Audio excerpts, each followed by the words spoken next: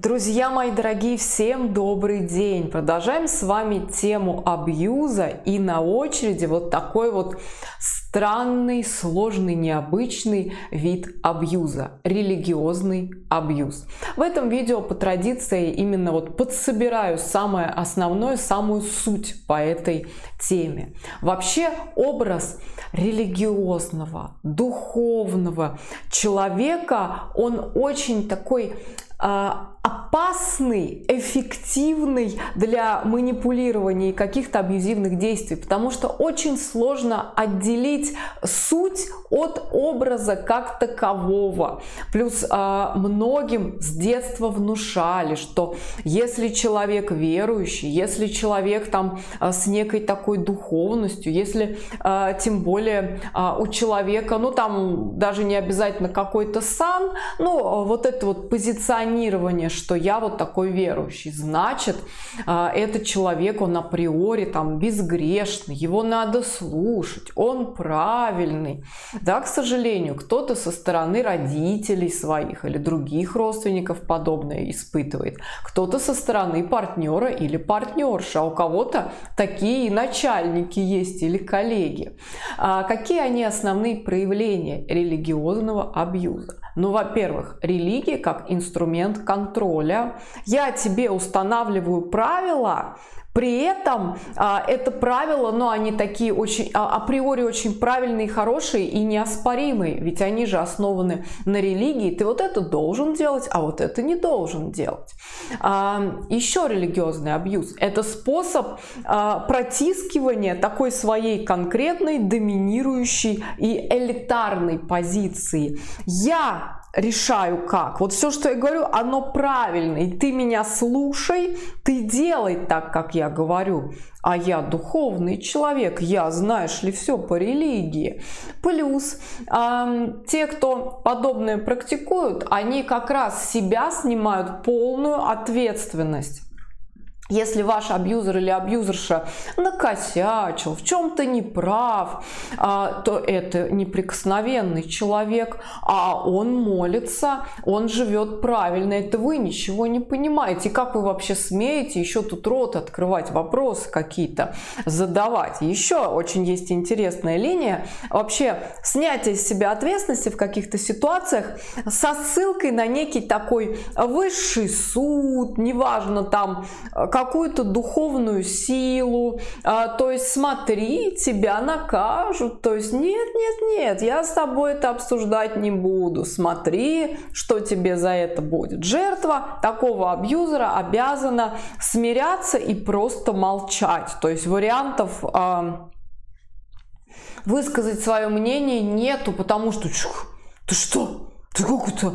Вот ведь что! Хотя нередко вот те, которые как раз в абьюзивных целях это используют, там может быть очень такая поверхностная трактовка э, какой-то религии, или там может быть очень такой, знаете, избирательно выдернутое э, из, из контекста истолкование. Ведь не все люди религиозные, они абьюзеры, разумеется. Так человек истинно верующий, у него доброта, любовь в сердце, то есть там нет нужды э, постоянно кого-то выстраивать, кого-то притыкать э, чем-то и так далее. А вот как раз манипуляторы, абьюзеры истинные, да им без разницы, что делать инструментом. Как раз религия – это почва благодатная, что хочешь на ней посади, и оно будет расти, потому что можно сразу сказать – тебе эта область знания недоступна, или смотри, тебя покарают, или как же ты так можешь с таким святым человеком. Религиозный абьюз это еще и газлайтинг, когда вам э, навязывают какие-то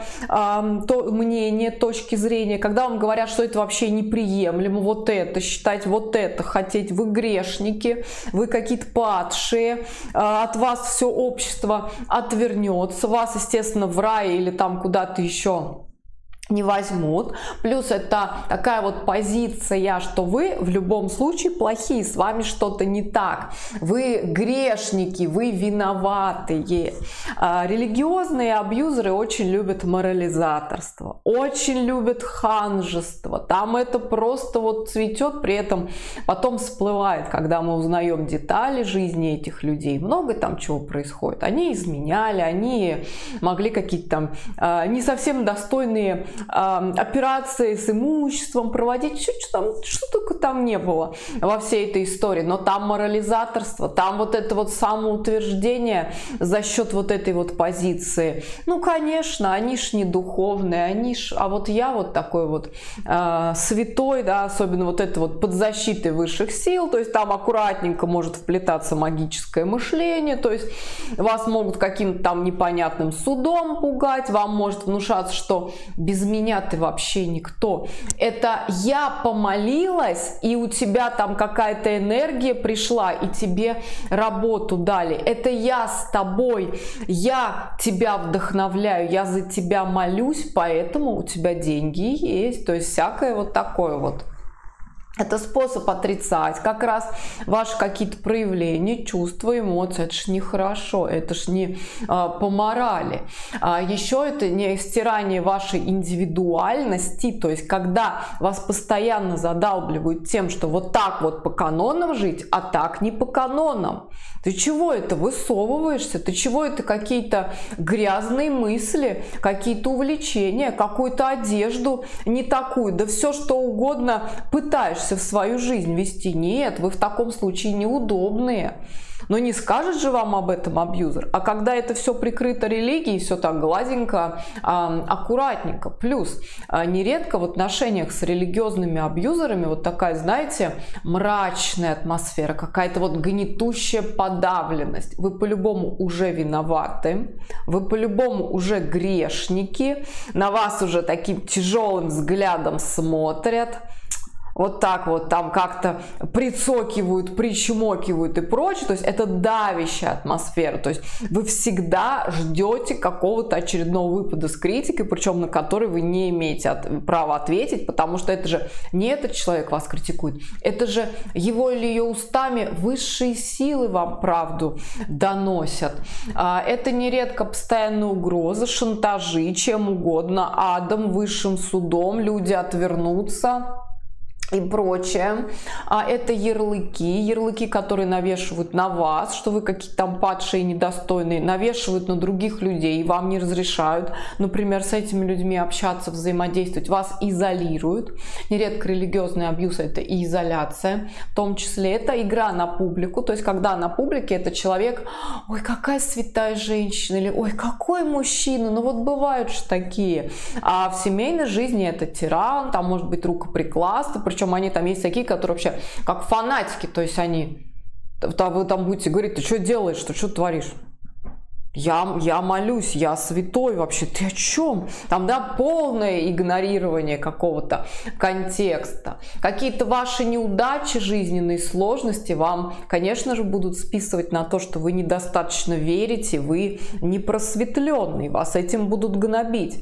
Какие-то ваши успехи, конечно же, этот человек будет приписывать себе и говорить, ну, я за тебя, грешника, молюсь. То есть э, такие люди, они оправдывают свои действия, какие угодно религии, при этом какую-то свою лень, какое-то бездействие, безответственность, все что угодно, они тоже оправдывают религией а я молюсь, а я набираю сил, а я независим от материальных ценностей. То есть религии, они могут прикрывать, кстати, измены, вранье, какие-то паломнические поездки или какая-то странная теория про то, что надо любить все человечество. Там не, не переживайте, вариантов очень много.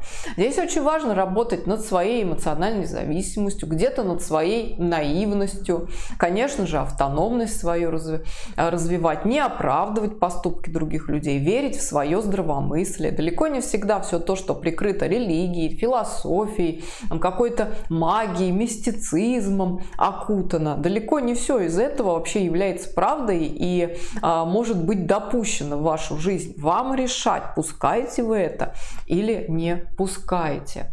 Приводите ваши примеры, может быть еще что-то такое интересненькое есть, потому что, смотрю, мало вот эта вот тема, она раскрыта, потому что, конечно же, вроде бы такая она табуированная, но с другой стороны, если абьюзеры даже такое делают инструментом а, своих манипуляций, своего а, абьюзивного поведения, то почему мы должны об этом молчать? Друзья мои дорогие, если вам будет нужна моя помощь как психолога, как психотерапевта, буду рада видеть вас на своих онлайн-консультациях. Мои контакты внизу под видео.